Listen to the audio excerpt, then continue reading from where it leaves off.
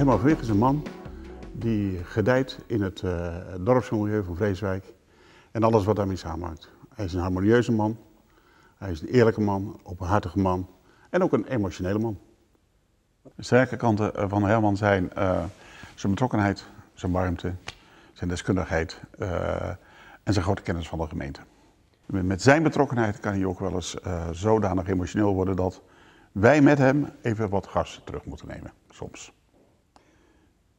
Mijn leukste herinnering aan Herman uh, vanwege zijn de boekhoudcursussen en de cursussen financieel beleid die hij thuis geeft aan alle fractieleden van het CDA, waarbij je zelfs een soort examen moet doen. En dat duurt vijf, uh, vijf keer. Dat zijn de leukste. En we eindigen altijd met een heerlijk Warsteiner biertje.